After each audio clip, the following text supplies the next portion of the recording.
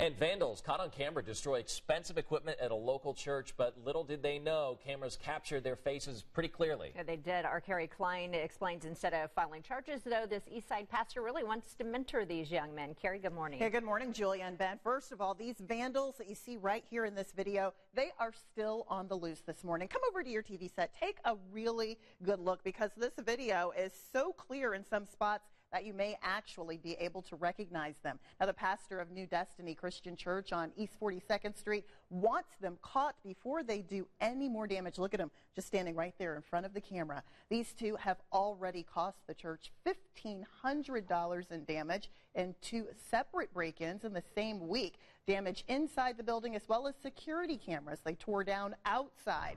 Now, they thought by smashing the cameras, They'd destroy the video evidence of their bad deeds, but as you saw, that didn't happen. However, Pastor Jerome Taylor says he was a troubled youth growing up, but mentors stepped in and helped turn his life around. Now, he'd like to see these kids get caught so he can help them. So this is a church where you can reach your destiny and fulfill your purpose.